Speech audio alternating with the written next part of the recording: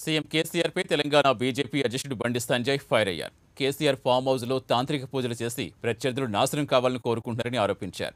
కర్మన్ ఘాట్ హనుమాన్ ఆలయాన్ని బండి సంజయ్ సందర్శించి ప్రత్యేక పూజలు చేశారు.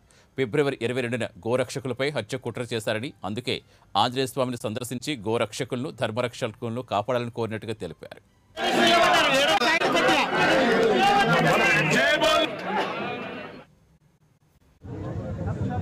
ప్రసిద్ధిగాంచిన ఒక పవిత్రమైనటువంటి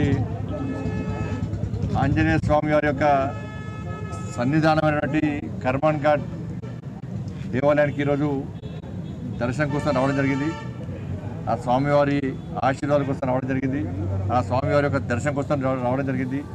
ధర్మరక్షకులను కాపాడని చెప్పి ధర్మరక్షకులకు ధైర్యాన్ని కల్పించాలని చెప్పి రక్షణ కల్పించాలని చెప్పి ఆ స్వామివారిని వేడుకోవడం జరిగింది. रंगारेड्डी